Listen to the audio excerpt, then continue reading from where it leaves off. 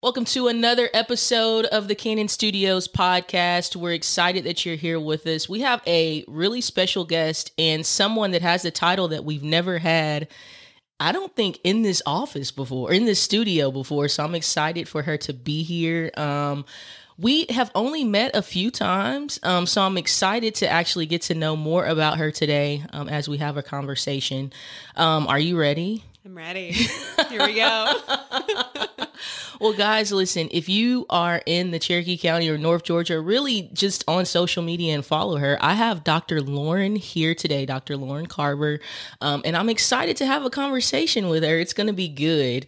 Um, the reason why I wanted to have her on the show is she said something that was so profound during one of our business networking meetings that I haven't heard a lot of people hear. And one of the things she said was, Don't be afraid of giving away too much value. And I was like, Man, she needs to be on the podcast. so we're going to talk a little bit about that today. Um, let's jump right in. Awesome. All right. well, first, we always do some get to know you um, questions, right? So I guess just the the basics of maybe what someone wants to know is how long have you been in Cherokee County? Are you from here? Just, you know, some some questions like that to get to know you. Yes, I'm actually from South Dakota. Okay. I came to Georgia because it was uh, much warmer. I didn't want to start my car for like 45 minutes before I got in it every day. Yeah. so I came down here. I went to school at Emory for physical therapy and then graduated and then stuck around. There so, yeah, I've been um, officially in like the Cherokee County area for a couple of years. Okay. Um, but I opened my business about a year ago Okay. and we're in Canton. So the brick and mortar practices in Canton, but I love the area. The community is really supportive. And Yeah. there's a lot of really amazing um, business owners and just the the support system up here is really great. Absolutely. And for maybe I understand what it is that you do because I get the privilege of hearing you at our networking groups. But for maybe those that are listening, nobody is better to explain their business than the business owner. So Yeah. would you mind taking a second and just let everyone know what it is that you do? Yeah, so I own a company called Barbelle Pelvic Rehab, and um, I am a pelvic floor physical therapist. And a lot of people don't know what their pelvic floor is or that they have a pelvic floor. Um, both men and women have pelvic floors, if you can believe it or not. There you go. And um, the pelvic floor is actually part of our deep core system. So it's the bottom of the core canister. So um, a lot of times, if there's any dysfunction in that deep core canister, we can have lower back pain, hernias. Leakage, chronic constipation, pain with intercourse. Um, it can show up in a lot of different ways. And so we are the experts in that, and we restore that deep core system, restore the pelvic floor. And then I named my company after just my love for treating barbell athletes. So that's where Barbelle Pelvic Rehab came from. Okay. I love it. I mm-hmm. love it. Yes. Um, so if you've had a child, Yes. exactly. Pregnant, postpartum, you're having pain, you're having leakage. Like mm-hmm. even if you had a C section, they are Really? cutting yeah, they are cutting into your deep core. Your pelvic floor ah. still needs some help. So yeah, come and see us. We can help you. You don't Okay. have to pee your pants the rest of your life. Most women don't know that. right. Yeah. Yeah, no, that until you said that, I just thought it was a normal thing. You know, they're like, I mean, not to get too graphic, they're like, just do your Kegels. And I'm like, I am, but I'm still peeing when I do jumping jacks. Exactly. So Kegels, yeah. So the the pelvic floor is like a trampoline, Uh-huh. and so just doing a concentric or an, an activation like a Kegel is Yeah. not going to restore the dynamic um, movement of the pelvic floor. So we take a full body approach. So Okay. yes, if you've done if you tried Kegels and it hasn't worked, come and see your girl. I got you. Yes, you've restored hope in all of the moms that Yes. understand, or soon to be moms, even. Yes. Um, okay, so perfect. Thank you for that. Now let's jump into my kind of favorite part. Um, it's like some maybe some things that people didn't know about you, right? So if you could choose any job in the world, regardless of qualifications or salary, what would it be and why? I really like um, interior design and home improvement. Okay. So if I had a lot of free time, Yeah. our entire house would be like done probably like three times. So Yeah. I I love like the visual creation and like before and afters, and so Yeah. that would be it. Okay. hmm Visual designs. So like okay. Got so do you watch a lot of HGTV? Yes, so Okay. lots of HGTV. Okay. yeah, that's that's a dream. Okay. I love it. Gotcha. Okay. Second question. I've never asked anybody this one. If you could create recreate a music video, which one would it be? I'm really curious Mm. about this. Oh, it's a good one. yeah.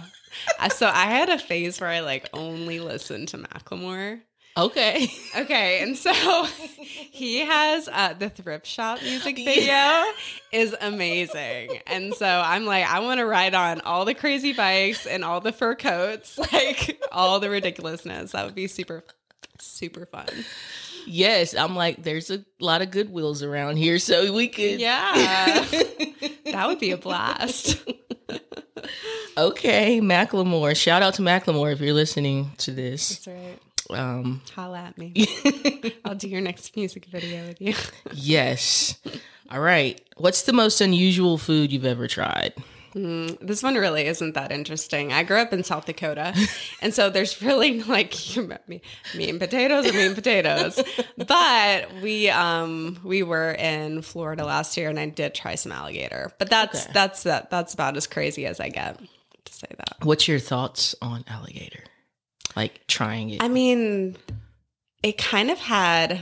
Have you had alligator before? a while ago and it was fried. I'm from Texas. I Everything mean, it was fried. fried too. Okay. But it kind of reminded me, like the texture reminded me of like a scallop or something like Yeah. that.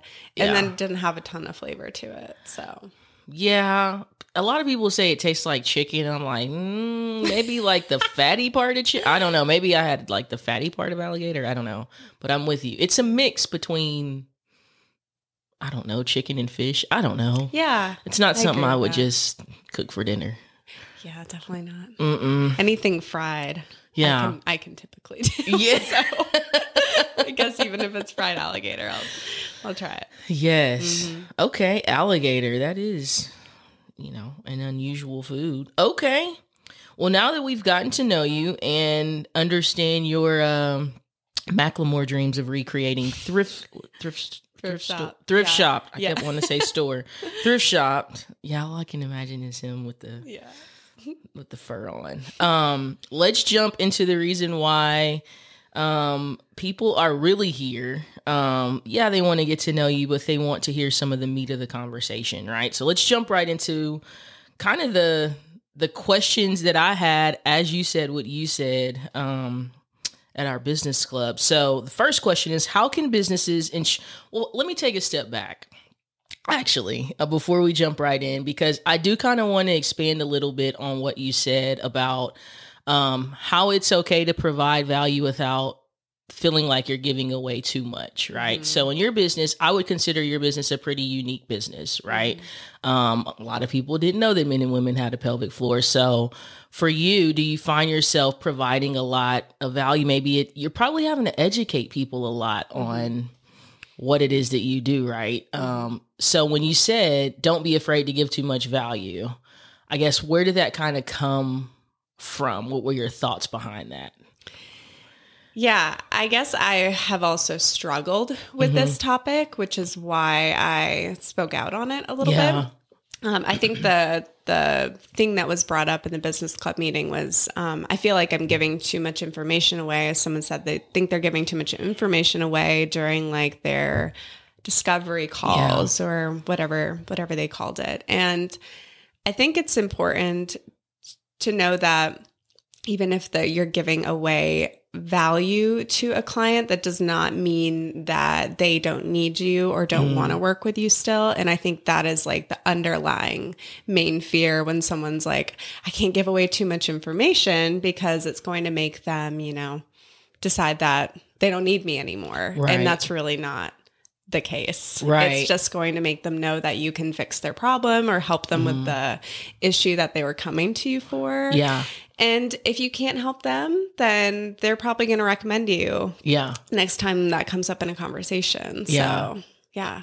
Okay. I really like that because, like you said, I think the underlying factor of me feeling like I'm giving away too much is the fear that they won't use you. Right. Right. Um, when sometimes it may reveal that it, it may reveal to a person why they need to use you um, or work with you, not Mm-hmm. Yeah. use you, work with you. Right. So, um, yeah. I really, really like when you said that because it's almost the opposite of what, you know, a, a lot of people hear a lot of people say. Mm-hmm. Um, so, how can businesses ensure that they are providing their customers with enough value without overwhelming them? yeah so that that is a big thing i think the the main the main point that you have to decide is which type of conversation are you having? Are you doing a call for them like an initial consult call or discovery call or whatever you want to call it? Um, and then you just decide on that call what are you going to give away like one valuable tip? Are you going to give away um, a handout for them if they still decide they're not going to book with you yet. Um, so you just have to be really clear on like what the parameters are because you can easily easily overwhelm somebody. Like I could talk someone's ear off about their issues like, "Oh, that's connected. Oh, that's connected. Oh, I can help you with that." But it it truly can get super overwhelming for the customer on the other end. So you just got to um, really make it as basic and simplified as possible and then decide you know, someone's calling me for leakage or um, something that's truly going to help them, I'm going to give them one tip. I'm like, hey, what I want you to do is if you're peeing all the time every 30 minutes, don't stop going just in case. There's a tip for a lot of you. Don't go just in case um, because it's going to make you pee more. So mm. I, I'm not afraid to give some really good information that's going to help somebody. I'm just really clear on how much I'm going to Right. so that I'm not like dumping all my info on them. Right. Okay. Because that may, oh, like you know, overwhelm them, and they're like, I don't even know where to get started. And it's too much. Exactly. and usually, if you're overwhelmed, it Mm-hmm. creates paralysis. So if you're overwhelmed, they're probably be like, oh, I can't, I can't even deal with that right now. So I'm just not going to. right. That makes sense. Well, do you think there's a such thing as providing too much value that kind of feeds off of what you were just saying? I think that if you're a business, and um, it depends what type of services you provide. If you provide a lot of one on one services, um, providing too much value may look like giving away too much of your actual time for free, if that makes sense, because um, it's hard to be in business when you're not profitable. You have to be profitable. So Yeah. making sure the type of value that you're giving away is still like really helpful for the customer or the potential customer without sacrificing too much of your bottom line to do it essentially. So that would be the only like you have to weigh it out. So I would give somebody, say, a handout or Right. an ebook or something like that. I'm still providing them so much value Yeah. um, kind of confirming, like, yeah, this is how I can help you. This is why you need to see me. Um, but also giving them some good information and not taking additional time from me. Right. Right. Because a person that's inquiring about services, if they're taking too much of your time, then you're not able to fully help your clients that are already working with you too. Correct. Yeah. Exactly. And Yeah. energy too. Like, it, yeah. So that would be the one caveat that I would say. Just make sure it's not, you know. Yeah. I like that. And it's in a sense it's probably helps uh helps to set expectations too that the client knows like, hey, I, I have 15 minutes with you. Yes.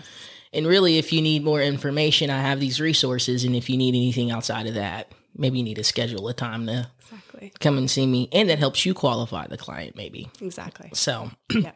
I like that. Um, so, how do you think businesses can identify the needs of their community and then provide them with the value they are looking for?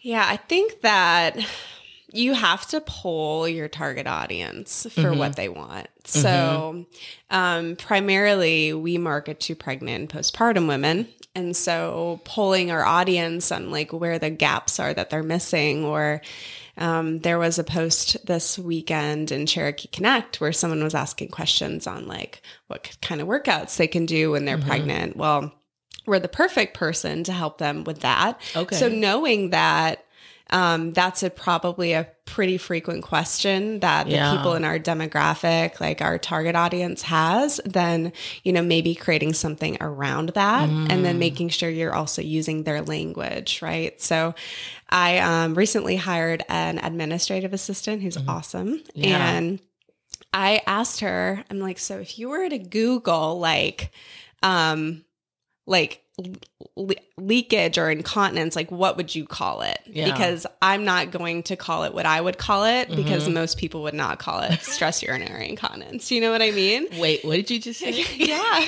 yeah, exactly. So leakage with like jump roping yeah. is called stress urinary incontinence or leakage with coughing and sneezing.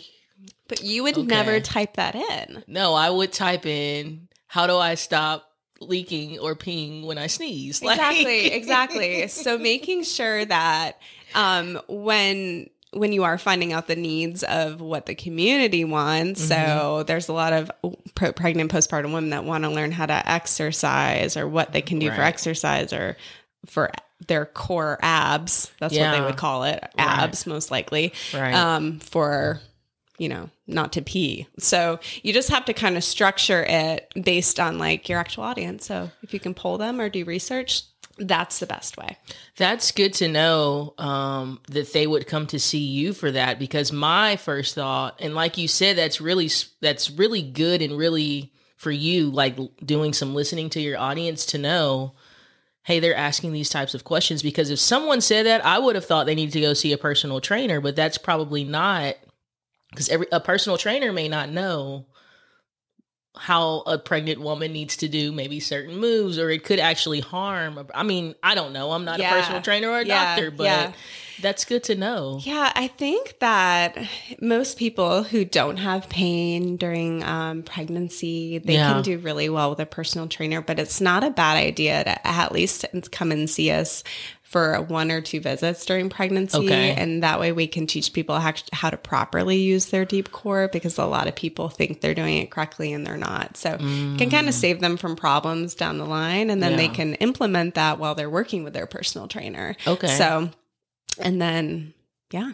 okay Mhm. no that's good to know really good to know um, what are some common fears you think businesses have about providing too much value so we kind of touched on it a little bit earlier yeah, but yeah, the, I think that the main fear is like not being able, like people not using their services or not being Right. able to make their bottom line because now they're giving away too much information or too like. But honestly, if you think about it, like. Mm-hmm. I love, so I really like Tony Robbins, or I like Yeah. listening to him, and I like listening to Ed Mylett. And what Yeah. do they do? They have like hour long YouTube videos and podcasts that they post every day, but I would still go to one of their seminars because Right. I, I like, I know them, I like them, I trust them. I, they've already provided me so much value that I just like, I would buy their book if Yeah. they had a book. You know what I mean? So the fear is that, you know, giving away all that information will make people not want you, not to want to come see you or not want to use your services. But in reality, the people who I've spent the most time and have provided me the most value just kind of affirms that they're the person that is Right. going to help me. And so Right. when I'm ready, like I would love to go to a Tony Robbins Yeah. like seminar, you know? so yeah. That is a good point because um I don't know if if it it's almost like a mindset shift, right? Mhm. Because we do think, oh, if we tell them too much or we tell them like our secret sauce, now they're going to take it and run with it. I uh, when I hear people say that, I'm like, you realize you are the sauce, right? Like not what you tell somebody. And Right. so um to your point, right? We listen to these these experts in their field like Tony Tony Robbins and you never hear anyone say, "Man, he's giving so much value. I'm not going to go." I mean, his conferences are sold out. exactly. And so it's like I don't know why there's such a a diff it's a mindset thing. It is. Right? Yeah. Um so yeah, no, that's a really good point. Like they're giving away all this value. Of course, I'm gonna if they're doing this for free, what am I gonna get at a conference? Exactly. totally. Yeah. So that's that's a really good I like that. That's a really good point. Um, how can businesses measure the effectiveness of the value they are providing to their communities?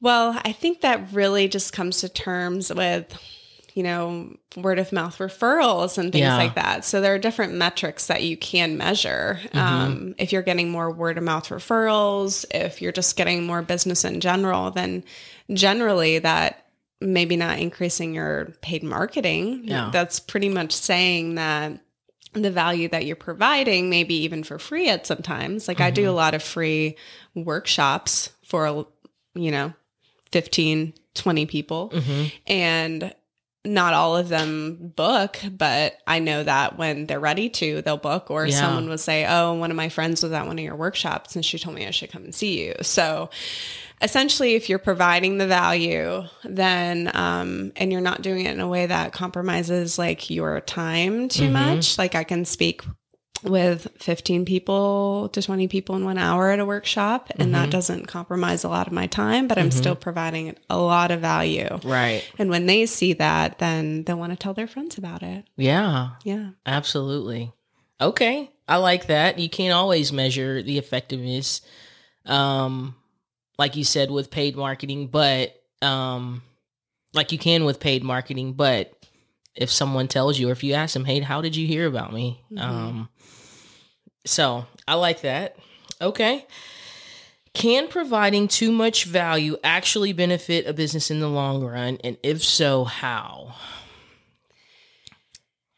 Um, I, I do think it can. It just, you know, depends on that same time versus value quadrant we were talking about before. Yeah. So, um, making sure that you're giving a lot of value to actually help people because truly the point of um, my business and most businesses is we're trying to fix a problem or we're trying to help somebody. So, as long as you're helping somebody in some way or giving information that's going to help them, I think in the long run that is only going to um make your business flourish more. Right. You're just helping people even if there's nothing that's coming in return of it. Right. Eventually it will. Yeah, eventually. Like you said, they may not Mm. become a client immediately, Mm-hmm. but you may look up in a year and now they're always going to think of you, whether that's for them personally or a referral or whatever. So Yeah. awesome. Yeah. It's not always the right time for everybody. Right. They usually have to go through, you know, multiple like you know, stages of readiness. Yeah. Like not everybody's ready to change the second that you they learn about you. Right. But as time goes on and they notice, oh, okay, well, my quality of life is going down. I can't pick my baby up. I don't want to, I can't run anymore. And that's affecting my health and my mental health and all these things. And then be like, okay, now I'm ready, like to fix my leakage or to fix my hip pain. And I'm ready to see you now. So, Okay. mhm. I like that. Yeah, they're thinking about they're you're staying top of mind basically. So got it. Well, we've run through these questions um and they've been it's been really insightful just to hear like you talking about it cuz we're in two completely different fields, right? Um you're a doctor, I'm not. so hearing this from your perspective um is really like enlightening um, because even though we're in two completely different fields, the information is still transferable. oh, absolutely. And so what you're telling me, I'm like, oh, I didn't I didn't think about that because just like you could have someone easily try to take all of your time, we run into that same yeah exactly. that same thing. So, um, well, what questions do you have for? I know Kyle's not here. Do you have any questions for me? Yes, I do. So, what are your favorite ways to provide value? I mean, you're doing a podcast, Yeah. so this is providing Yeah. Mm-hmm. value to people who listen to you. So, this is one way. Do you have any other favorite ways? honestly i like to meet one-on-one with people and try to when i have i i probably have a problem with providing too much value because i tell people i want to equip them so that even if they choose not to work with us they can still go out and create their own content. Um, and so most of the time that happens through like one-on-one conversations. I sit down and if they ask me questions i'll tell them. Um, now some people will try to you still have to put like guardrails around that because um people will try to take advantage a little bit especially in our industry but i think that's that's kind of another way is it's just scheduling a one-on-one.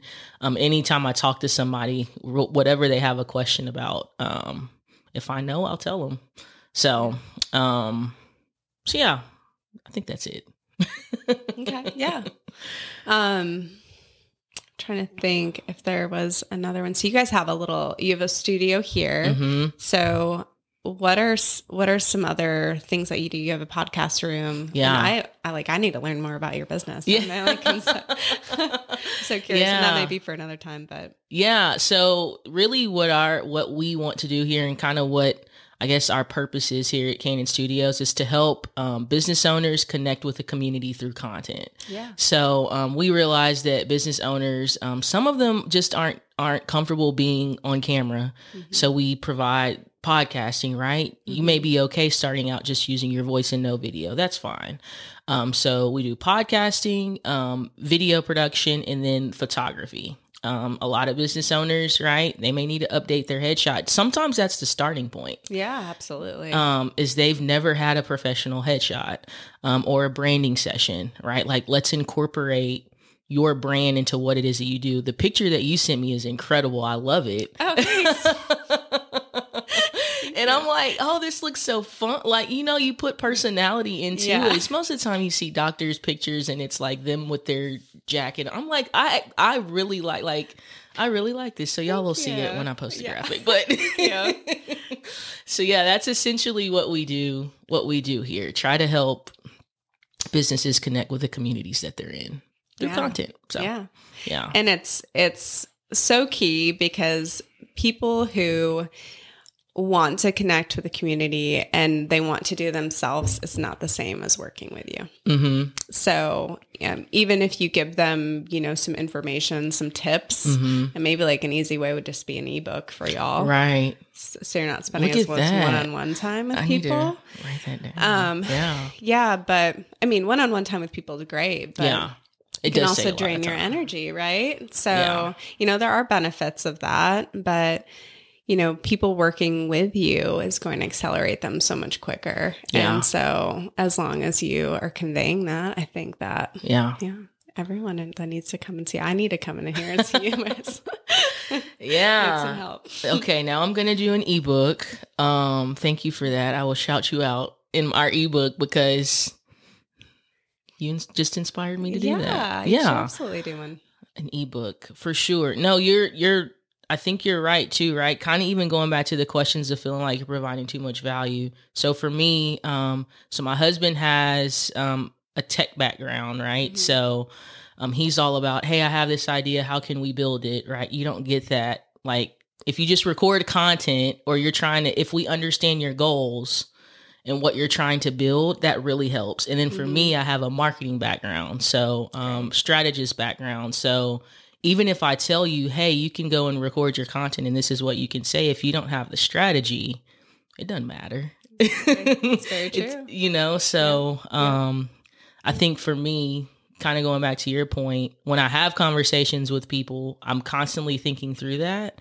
Um, but I have to hold back a little bit because I will I want every small business to be incredibly successful, but sometimes I give them so much information they don't start.